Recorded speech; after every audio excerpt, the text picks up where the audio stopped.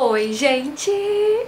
Sejam muito bem-vindas a mais um vídeo aqui no canal e hoje nós vamos bater um papo sobre casamento. Gente, eu queria muito trazer esse vídeo aqui pro canal já tem bastante tempo e o que me deu esse gatilho foi que num outro vídeo que eu trouxe aqui pro canal de 10 lições que eu aprendi com o meu trabalho aqui na internet, surgiram alguns comentários pedindo pra eu fazer uma versão do casamento, né? Lições que eu aprendi no casamento. Então isso me empolgou bastante pra trazer esse vídeo. E antes mesmo de ter esses comentários, eu já queria trazer algum vídeo assim aqui pro canal trazendo algumas reflexões, coisas que eu aprendi com a vida de casada, né? Eu tenho certeza que essa dica vai ajudar muito todas vocês que são casadas ou que pensam em casar, que estão aí num relacionamento, namoro, noivado. São dicas simples, são coisas simples, né? Essas lições que eu vou compartilhar aqui com vocês, afinal, eu tenho pouco tempo de casada, né? Quem sou eu, assim, pra querer ensinar alguma coisa, mas são coisas simples mesmo que eu aprendi e que eu queria muito compartilhar com vocês, porque eu acho que realmente pode fazer muita diferença, tá? Me contem aqui nos comentários se vocês gostam de vídeos nesse estilo, se vocês querem mais. Eu posso trazer também Ana Responde sobre casamento, Ana Responde sobre outros temas aleatórios, né? Sei lá, sobre beleza, sobre moda, sobre cabelo. Sobre cabelo ia ser legal, hein? Pra tentar ajudar vocês aí com os dramas capilares de vocês. Me contem aqui nos comentários. Posso trazer também, né? Além de Ana Responde, posso trazer esses de, de lições, né? 10 coisas, 10 lições, enfim. Me contem tudo aqui nos comentários. A gente sempre tá de olho nos comentários de vocês. Deu pra perceber, né? Porque esse vídeo, o, o que deu o gatilho pra trazer ele aqui pro canal foi um comentário. Comentem bastante que a gente tá de olho, tá? Então é isso, bora lá. Ah, também compartilha esse vídeo com uma amiga que é casada, que tá noiva, enfim, tá? Então, bora lá.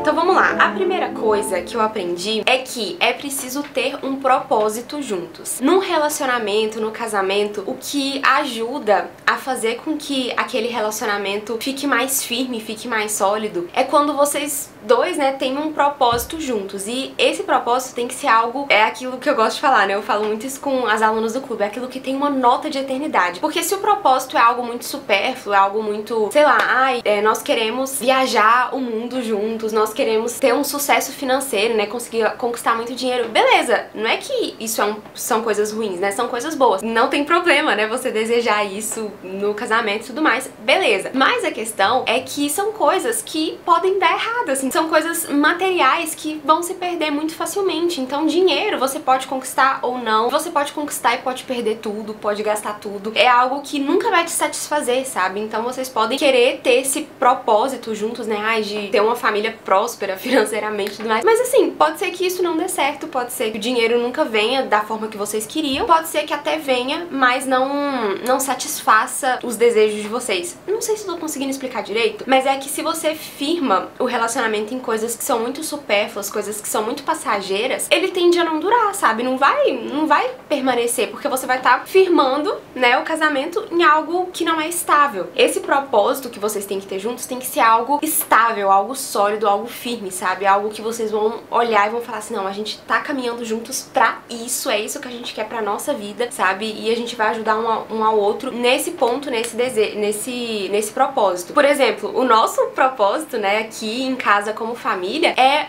um levar o outro pro céu. Assim, a gente tem isso como nossa base, como nossa meta, né? É fazer que um leve cada vez o outro mais pra Deus, sabe? E se a gente não tem essa coisa que é sólida, que é estável, né? Se, se Deus não fosse o centro da nossa família, do nosso relacionamento, com certeza muitas coisas já teriam perdido o fio da meada, sabe? Porque, como eu falei, todas essas outras coisas são, está, são instáveis. Enfim, então é muito importante vocês terem esse propósito juntos. Aqui entra também aquela coisa, né, de que como é importante no casamento os dois estarem olhando pro mesmo lugar, estarem olhando pro mesmo foco, estarem caminhando juntos pro mesmo lugar. Lição número 2, a importância da virtude do bom humor. Na época do noivado, eu li aquele livro As Pequenas Virtudes do Lar. Eu falei muito desse livro com vocês, né? A gente até fez algumas aulas no clube sobre essas pequenas virtudes. E realmente esse livro me marcou muito, gente, porque eu aprendi coisas assim que eu nunca teria parado pra pensar, nunca teria aprendido mesmo se eu não tivesse lido aquele livro. E uma coisa que me marcou muito nessa leitura foi sobre a pequena virtude do bom humor, que é uma virtude que eu preciso muito, assim, desde que a gente casou, é algo que eu tenho buscado trabalhar e até hoje eu preciso muito melhorar nesse ponto, porque às vezes é, a gente leva algumas coisas muito a sério. Coisas que não precisariam ser levadas a sério, a gente leva, e coisas que precisariam ser levadas a sério, a gente não leva. Então, às vezes, sei lá, um, um almoço que não deu certo, comida que queimou, um negócio que quebrou, bebê que chora, sei, coisas que às vezes são parte da vida, né?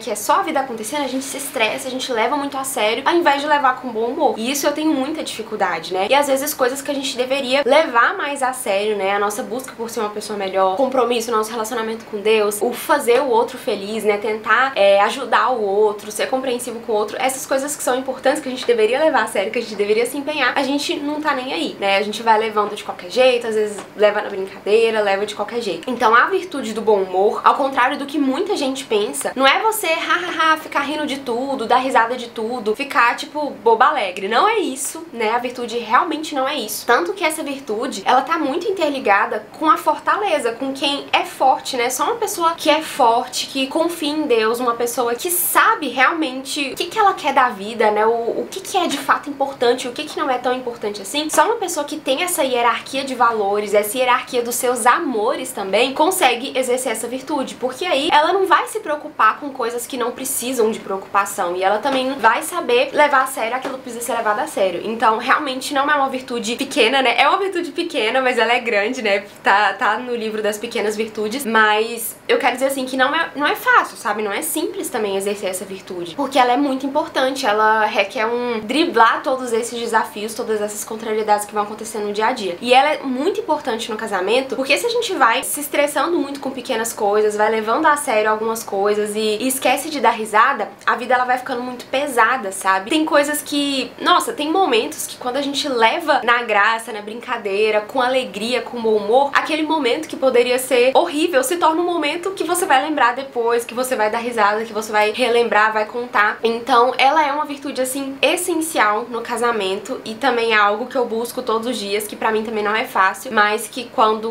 eu consigo, né, quando eu lembro, quando eu tento exercê-la, muita coisa aqui faz diferença. Então é algo que eu aprendi e que não tinha como não falar aqui com vocês. A terceira lição é implementar a beleza no lar. Essa lição, ao contrário do que muita gente pensa, não tem a ver com dinheiro, com entender de certas coisas. É mais uma lição que tem a ver com carinho, com zelo. Então, o que é implementar essa beleza no lar? É você fazer de tudo para que as coisas fiquem mais leves, mais bonitas. Isso para mim também parece, né, muitas vezes vocês vendo que é um ponto fácil, mas ainda assim é difícil. Às vezes a gente precisa sair do automático para implementar essa dica. Então, o que, que é isso, né? É, sei lá, você vai fazer um almoço, em vez de simplesmente só deixar a comida lá de qualquer jeito, é você buscar colocar um cuidado ali, colocar um zelo, né, na hora de preparar a salada, implementar um pouco mais de beleza, picar as coisas de uma forma mais bonita, colocar as coisas na mesa de uma forma que fique mais bonito, mais agradável, fazer uma mesa posta. E aqui não tem problema se você não tem um, um jogo de mesa posta e tudo mais, você pode usar o que você tem, sabe? Simplesmente colocar os, os pratos na mesa já faz diferença, sabe? Ao invés de cada pessoa da família ter que ir lá e pegar o seu próprio prato, você já vai lá e já arruma isso, sabe? E isso é algo que muitas vezes as pessoas falam, ah, isso é coisa de recém-casado, isso é coisa de não sei o que. Tá, pode até ser, mas como seria bom se todo mundo cultivasse esse hábito para sempre, sabe? De sempre colocar essa beleza, de colocar flores na mesa. Então, essa é uma coisa que eu tento fazer aqui, nem sempre eu consigo, às vezes eu acabo me perdendo no meio das baguncinhas da casa, assim, mas sempre que eu posso eu tento fazer isso, sabe? Colocar uma mesa, na, uma flor na mesa de jantar, colocar um suplá na mesa, enfim. E por que isso é importante, né? Bem resumidamente. Tudo que é belo tende a durar mais. Por exemplo, se vão lá numa cidade e constroem uma ponte que não é muito bonita, aquela ponte,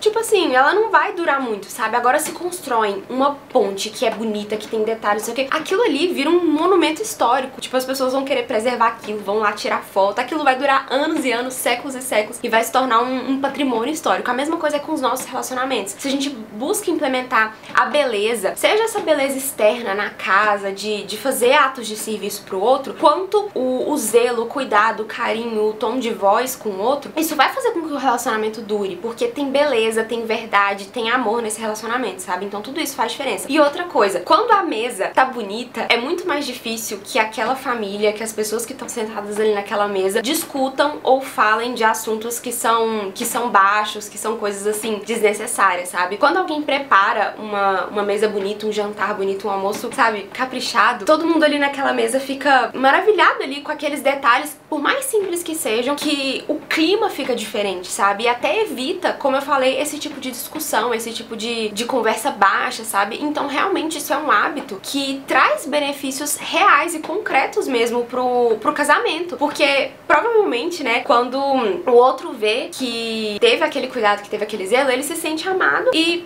simplesmente não vai ativar aquelas coisas mais baixas ali, sabe? De querer iniciar uma discussão, de querer despejar algo ali que tava guardado. Muito pelo contrário, talvez vá até curando algo ali dentro da pessoa, sabe? Enfim, é um assunto até profundo, mas que eu queria colocar aqui, jogar algumas sementinhas nesse vídeo. Lição número 4. Um buscar agradar o outro, fazer o outro feliz. Aqui entra aquela coisa de que às vezes a gente quer muito que os outros façam coisas pela gente, mas no final das contas a gente não faz nada pelos outros, a gente fica só esperando. Não é que a gente tem que fazer coisas pelos pelos outros esperando que eles nos retribuam. Então no casamento não existe isso, não existe isso de você, ah, então vou ficar agradando o meu marido para que ele me dê um presente, para que ele faça isso. Se você ficar esperando, esperando, esperando, você vai se frustrar, porque às vezes não vai acontecer da forma que você imaginar. Mas eu tenho certeza que se aos poucos você vai tendo essas atitudes, o outro também vai vai percebendo e vai sentir vontade de fazer também. Não que você esteja fazendo pensando nisso, né? Mas querendo ou não, gera fruto, sabe? Então, no casamento, a gente sempre tem que buscar tá agradando o outro, pensando no que o outro gosta, na comida que o outro gosta. Vou dar um exemplo pequeno, assim, e, e bobo, mas que são coisas que fazem a diferença. Tem umas toalhas que eu sei que o Gabriel gosta mais, tipo umas que são mais macias, mais felpudas, e eu, pra mim tanto faz, eu realmente não vejo diferença, assim, mas eu sei que tem umas duas ali que ele gosta mais.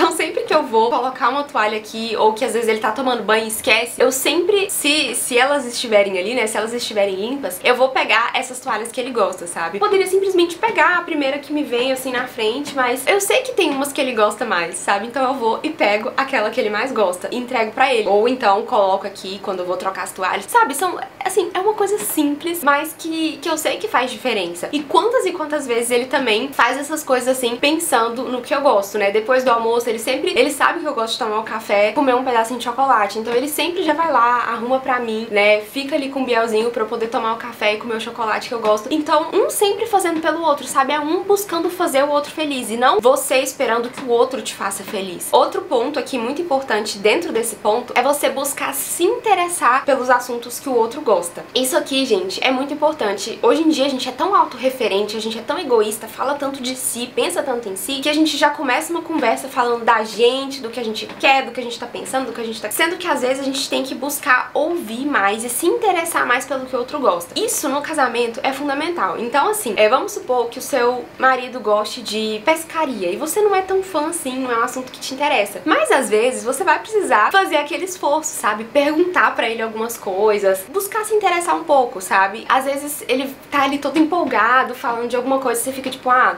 tá, uh -huh. não, sabe? Seja interessada, ouça, puxa a conversa ali, vai fazendo perguntas. Isso constrói o relacionamento, vai fazendo com que um conheça mais o outro, sabe? Conheça os interesses do outro. Porque ao contrário do que muita gente pensa, num casamento, às vezes vão ter gostos que são diferentes. Então pode ser que um ame futebol e o outro não goste. Um ame sobremesas e o outro não goste, sabe? Assim, às vezes vão ter gostos que são muito diferentes. Talvez um goste de pop e o outro não goste. E assim, esses gostos não tem problema se são diferentes. Só que as pessoas hoje em dia muitas vezes é, se preocupam demais quando esses gostos são diferentes, simplesmente porque elas não têm paciência às vezes de ouvir o outro. E aí esquecem que o que tem que estar tá em comum em um e no outro é aquele propósito, é aquele valor mais profundo que eu falei na primeira dica. Se os dois estão caminhando pro mesmo lugar, estão olhando pros mesmos propósitos que são mais profundos, né, enfim, que tem ali essa nota de eternidade, mas tem alguns gostos ali, sei lá, gosto musical, paladar, que são diferentes, não tem problema. Isso daí é uma forma de você conhecer mais o outro, saber lidar com, a, com essas diferenças, sabe? 5. A importância de se arrumar. Eu já falei sobre isso várias vezes, mas é que realmente faz toda a diferença. Quantas e quantas vezes a gente se arruma pra sair, pra uma festa, pra um casamento, pra um evento e não se arruma para aqueles que a gente mais ama. Então não é que você tem que ficar toda montada, né? Que o seu marido tem que ficar também todo de blazer,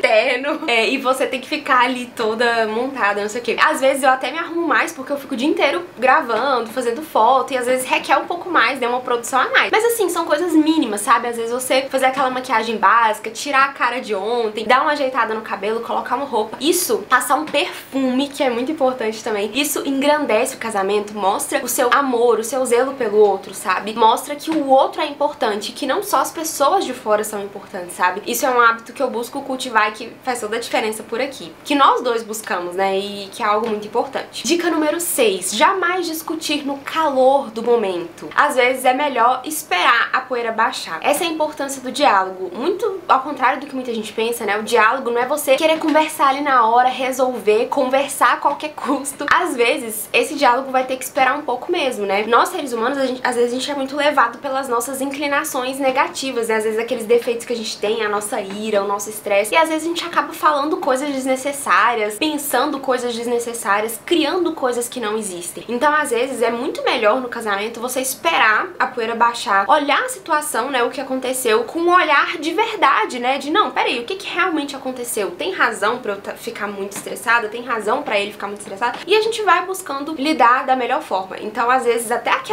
história de que, nossa, não pode dormir com raiva um do outro. Não é que você vai dormir com raiva, é que às vezes você tem, ó, nunca buscar ter raiva, né, um do outro. A gente não tá, ou no casamento não é uma, uma disputa um com o outro. Mas é que às vezes tem essa coisa, né, tem esse, esse ditado, essa coisa popular de que, nossa, você não pode dormir sem resolver a situação. E às vezes naquele momento ali, antes de dormir, os dois estão muito estressados. Se você for tentar resolver a qualquer custo, vai ficar pior. Aqui a gente sempre tenta buscar resolver na hora as coisas. Mas eu também fui entendendo com o tempo que às vezes é melhor esperar mesmo, sabe? Espera a poeira baixar, olha a situação por fora e tenta resolver ali da melhor forma possível. Porque isso sim é um diálogo, né? Às vezes o diálogo, você quer o diálogo a qualquer custo ali, resolver na hora e nem vai sair um diálogo, vai sair só. Os dois vão estar tá ali colocando, jogando coisas que talvez nem existem, os sentimentos aflorados e aquela coisa, e aí só vira uma bola de neve. Lição número 7 ter um olhar positivo sobre o outro, admirar, ter esperança com o outro e não cristalizar a pessoa. O que, que, é isso, né? É assim, é você buscar olhar pro outro e entender que assim como você também tem os seus defeitos, ele também tem e assim como você também tá buscando melhorar, aquela pessoa também tá, sabe? Então às vezes a gente cristaliza, né, é, o outro. A Samia que gosta muito de falar isso, a Samia Marcília, ela até tem uma live muito boa lá no Instagram dela sobre isso. Às vezes a gente olha pro outro e cristaliza né? Ai, meu marido é assim, minha esposa é assim e nunca vai mudar, ele tá fazendo isso porque ele é assim mesmo. Tem até a coisa dos temperamentos, né? Os temperamentos ajudam muito no relacionamento, mas às vezes a gente acaba cristalizando a pessoa. Então tem que saber lidar muito bem com isso. Ah, não, ele é assim mesmo, sempre foi assim. A mãe dele fala que ele sempre foi assim. Tem aquela coisa, né? E não, não pode ser assim. As pessoas mudam, assim como você mudou muito também e quer mudar, o outro também quer. E a gente tem que buscar ser facilitador pro outro e não ficar ali dificultando e, e jogando na cara e falando, não, você é assim.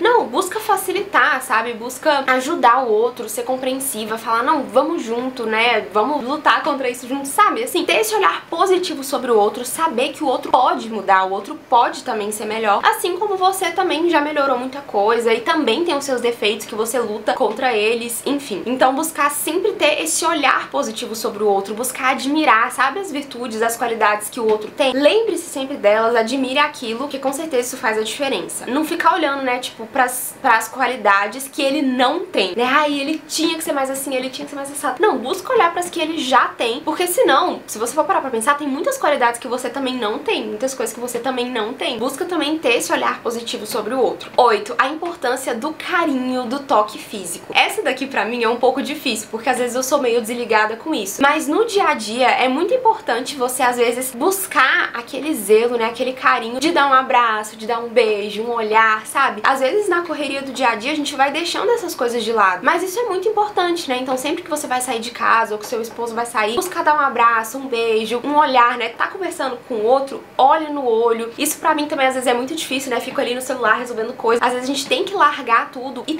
e ter esse olhar, né? Ter esse carinho. Com certeza esse toque físico faz toda a diferença. E se você não cultiva isso, as coisas elas vão ficando mais sem graça, né? Assim, tipo, vai, as coisas vão esfriando no sentido de que o amor mesmo vai ficando aquele amor mais morno, mais frio. Então, o carinho, o toque físico, ele faz toda a diferença. Então, você tem que. Não que o amor seja só isso, claro que não, mas é no sentido de que isso faz toda a diferença, né? Ter esse zelo, ter esse carinho. Então, no dia a dia, é muito importante você estar tá ali chegando perto, né? Dando esse abraço, dando esse beijo. Até pelo celular, né? durante o dia tentar mandar uma mensagem, alguma coisa assim, alguma mensagem carinhosa, alguma coisa assim, mostrando que você se importa, que você tá buscando cultivar também, né, o amor nas pequenas coisas. 9. Implementar na rotina momentos pra sair da rotina. Às vezes a gente é tão levada pela rotina, pelo cronograma, por horários, por coisas que já estão pré-estabelecidas que a gente se esquece de ter momentos de descontração. Então aqui em casa eu sempre tento incluir na nossa rotina preparar um jantar diferente, fazer uma comida diferente, porque se a gente vai sendo levado pela rotina, a gente nunca faz isso. Então, ah, hoje a gente vai tomar um vinho juntos, hoje a gente vai pedir uma comida que a gente gosta, hoje a gente vai fazer isso, vai fazer aquilo, vai assistir um filme, vai ver um documentário, coisas que a gente gosta. Porque senão, se você não incluir na rotina esses momentos para sair da rotina, nunca vai acontecer. Então isso é muito importante. E número 10, pedir perdão sempre. O perdão é algo que, que engrandece o relacionamento, que faz você crescer, que faz o outro crescer. Aqui em casa a gente sempre busca isso, sabe? É pedir o perdão na hora, é não ficar postergando isso, é sempre compreender, né? Assumir que errou mesmo, sabe? Sem medo, sem vergonha, sem receios. Isso aqui é algo que a gente cultiva muito sempre. Foi algo, inclusive, que eu aprendi muito com o Gabriel, assim, que ele sempre tem isso, de quando ele vê ali na hora, ele já, já pede o perdão, já fala, e isso é algo que faz muita diferença e que eu fui aprendendo muito com ele também. No Clube da Autoestima eu fiz uma aula só sobre o perdão. Essa aula tá sensacional, como se perdoar e perdoar os outros, né? Mas basicamente o perdão é você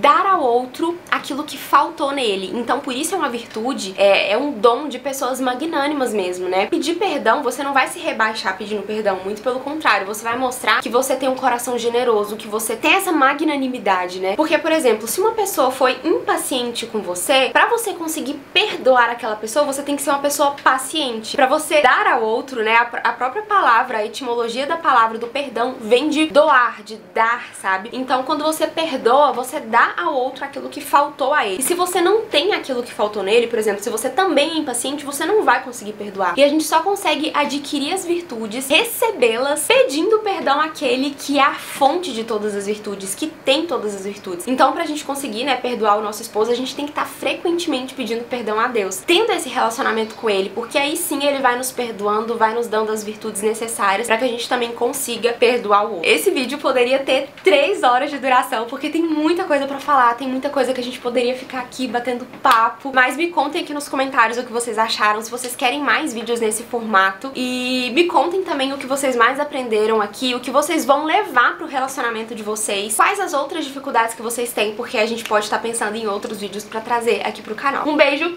fiquem com Deus e até a próxima. Tchau!